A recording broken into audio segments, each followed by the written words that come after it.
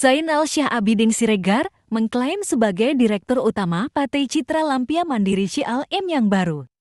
Zainal Abidin Siregar bahkan menyebut telah melakukan pergantian manajemen yang lama yang baru di bawah kepemimpinannya. Helmut Hermawan juga mengklaim saat ini masih sah sebagai dirut PT CLM. Diketahui sebelumnya, terjadi sengketa kepemilikan saham PT Citra Lampia Mandiri yang melibatkan dua kubu, yaitu kubu Helmut Hermawan, Direktur Lama PT CLM, dan Zainal Abidin Syah yang mengaku sebagai Direktur PT CLM yang baru.